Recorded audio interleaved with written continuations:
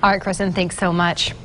Flooding is finally over for most parts of central Arkansas. Now the cleanup process is just getting started. A local church is stepping in and helping out. Fox 16's Rochelle Turner caught up with a family in Mayflower who says they still have a long way to go.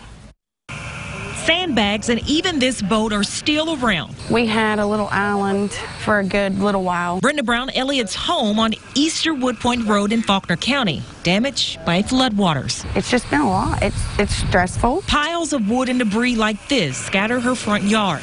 That's my entire kitchen and living room floor underneath the flooring. This dumpster filled with items that used to be in her home. To throw everything away, it, it's just hard.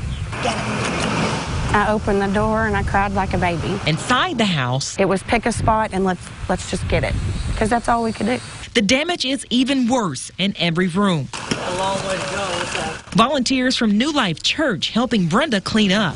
So we've taken sheetrock out, we've moved uh, uh, furniture, we've moved a refrigerator. Their help has been more than amazing. And this is just what's left behind from the flood. Right now, we're standing at what used to be their living room and kitchen. The family tells me now they're just waiting for FEMA to help out. We have been on the phone, um, sat for hours and hours to try and get some sort of direction. For now, Brenda is just taking things one step at a time. Okay, we're standing, we're healthy, and we'll be okay.